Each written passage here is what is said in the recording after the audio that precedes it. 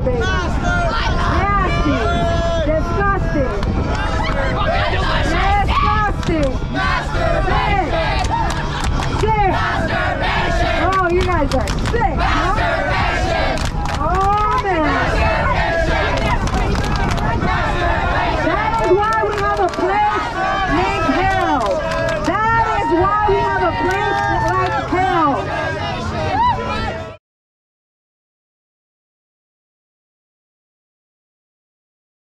Nerds need Jesus Christ too. Nerds need the Lord Jesus Christ too. How about getting excited over the God of the Bible, people? How about making some time in your life to know the God of the Bible? You guys have flown in to San Diego. You drove in to San Diego, but you can't go 15, 20 minutes to a local church. What's wrong with that picture? What's wrong with that picture, people? You want to go to heaven, you need to get born again, as the Bible says. Going to church, trying to be a good person, is not going to cut you and allow you into God's heaven. As a matter of fact, the Bible says most people will go to hell. We don't want you to go to hell. There's no purgatory. Uh, there's no reincarnation. You're going to die and meet the God of the Bible. Because you and I are going to die one day. The million dollar question is where is God going to send you? And He only sends you there because you chose that place. You chose either heaven or hell. And just like this wonderful country has borders, and just like this wonderful country doesn't allow everyone to come inside of our country, God does the same thing. Not everybody goes to heaven. Don't think everybody is God's child. That's a lie. Not everybody is a child of God. The Bible makes it very clear. Read Bible for details. Know the God of the Bible. Once again, San Diego, what are you going to do when you die? The Bible says it is appointed unto man once to die, and after this the judgment. Hey, you might get drunk, died by some drunken nerd on the freeway. You might die by some gang member missing his target and putting a bullet in your head. You might die of a heart attack. There's no guarantee you're going to make it home today, which is why God, in His great wisdom and genius, is having us come to try to snap you out of your sleeper. The real heroes are found in the Bible. Don't forget to pray for those pizzas. Don't take advantage of God's love and mercy. The real heroes never wore a cape. The real heroes never wore a mask. The real heroes never flew in the sky. The real heroes loved the God of the Bible and were persecuted and killed for their faith.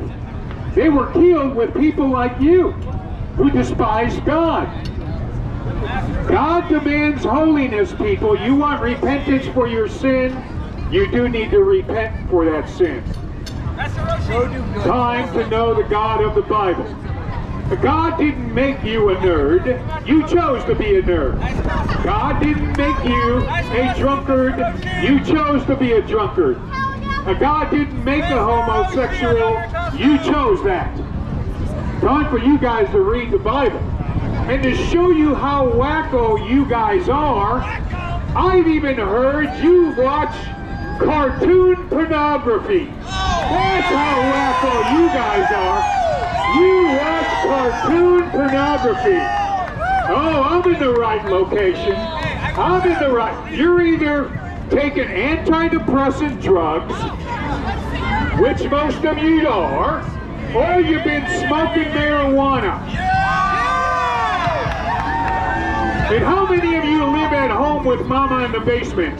Huh? You're 35 years old and you still live at home with mama. Oh, the trailer park is empty today. Oh, the trailer park is empty today. Look at you people. You've lost your mind. A Jesus can make you normal just like me.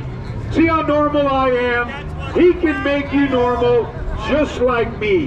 A nerd needs Jesus Christ too. A nerd needs to cry out to God too. You guys are bored. Look at you.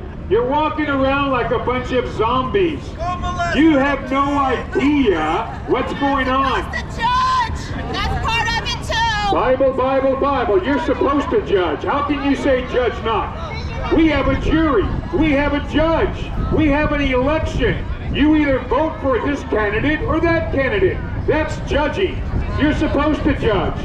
And judging by you people, something tells me you didn't vote for President Trump. Something there's something about this particular group that tells me you voted for Obama. You voted for Obama. You guys have lost your mind. If I hear you voted for Obama one more time, we're going to pack up and walk away right now. Thank you. I'm, I'm glad you can hear me over there. That's called a sound check. Thank you very much for that sound check. So how does somebody get to heaven? Jesus made it very clear, except a man be born again, he cannot inherit the kingdom of God. That's how you go to heaven. Nothing personal, take it as a group. God demands everyone to be born again. Obey God, honor God, love God, walk with God. Details in the Bible. You know that black book? Black book, gold trim, red letters. You guys are more inspired by a comic book than you are the Bible.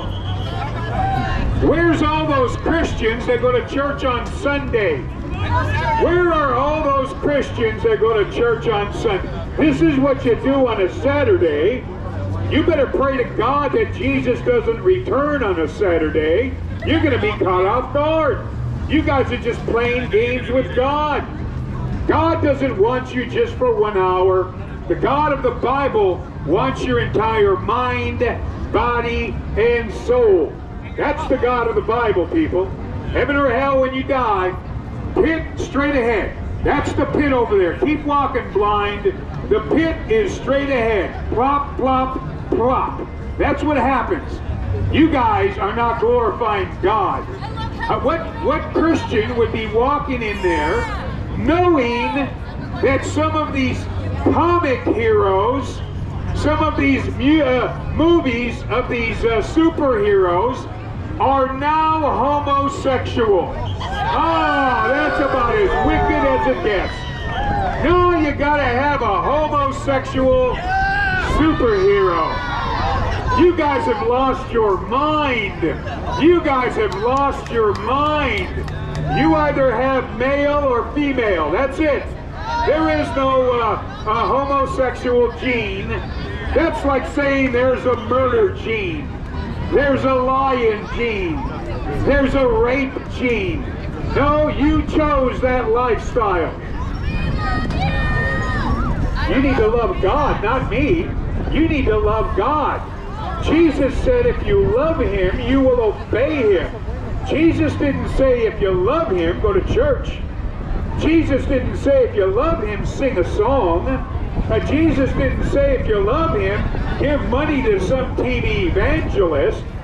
Jesus Christ said if you love him, you will obey him. Nothing complicated.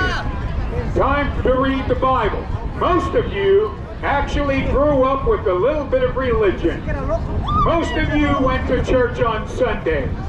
And now look at you. And now look at what you're doing. You turn your back on God. You quench the Holy Ghost. You've denied Jesus Christ numerous times. Time to read the Bible, San Diego.